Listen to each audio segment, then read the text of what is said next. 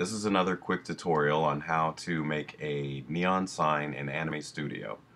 I've made an open sign, a neon open sign that's represented as off right now. And to make this look like it's on, we're going to duplicate the layer by just clicking this button here in the layers palette. We'll call this light on. And then to see what I'm doing, I'm going to turn the uh, bottom layer off. And I'm going to select uh, Shape Select tool, or you can hit Q. I'm going to select the blue, holding down Shift, select the other blue, go up to the fill, select a lighter blue color, and then hit OK. And we're also going to go to the effect and put a soft edge around it, which is going to make it look like it's glowing. Hit OK.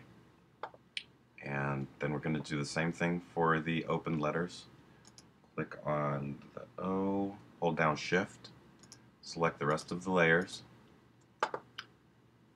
go to the fill, select a brighter red, hit OK, and also put a soft edge around that, hit OK, and then the last thing we want to do is double click on the light on layer and select under the layer blending mode, select add and hit OK. Then I'll turn the bottom layer back on. So when I render this, this is what the sign will look like when it's turned on.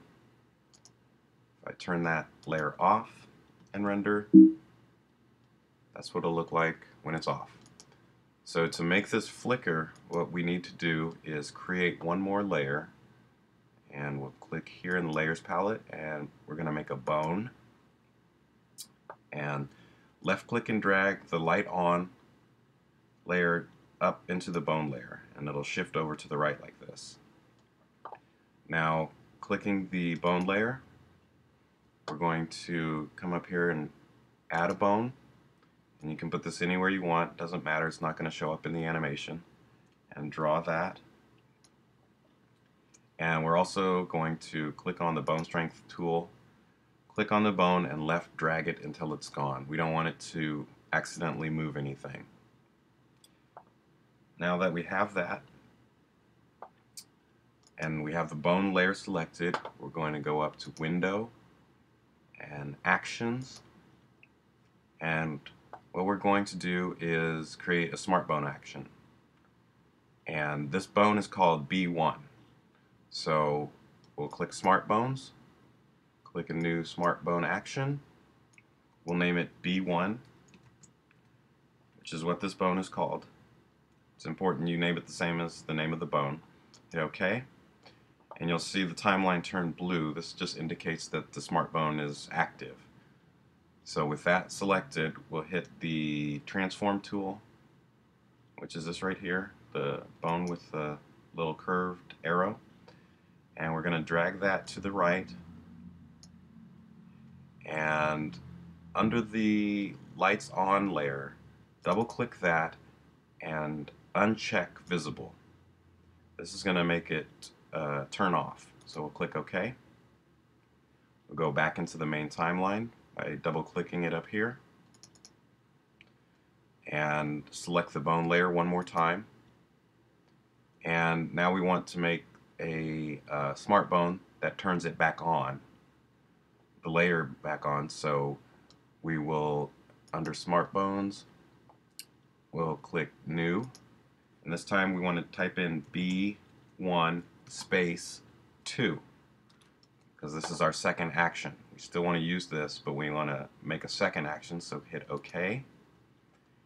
And then with the uh, transform bone tool selected, drag to the left, let go, and we don't need to do anything else because it's already visible.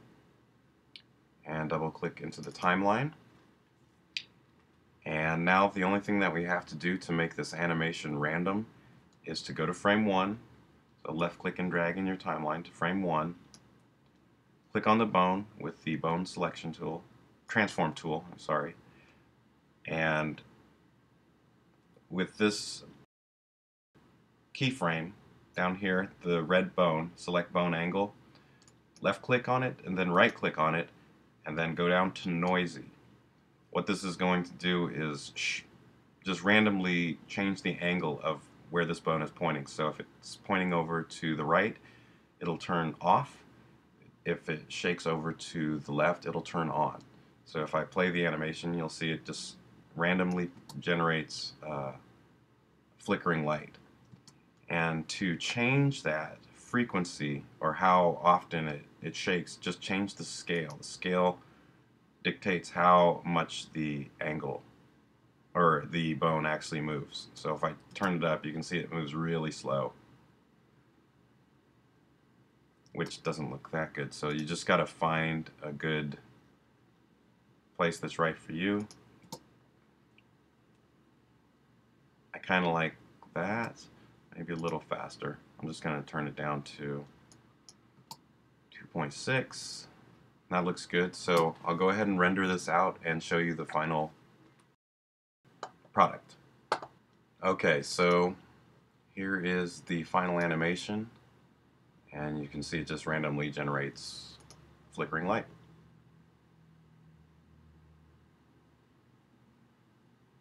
So you can use that for neon signs or street lights or any type of horror movie effect where you need flickering light. And that's it. So just give me email if you have any questions.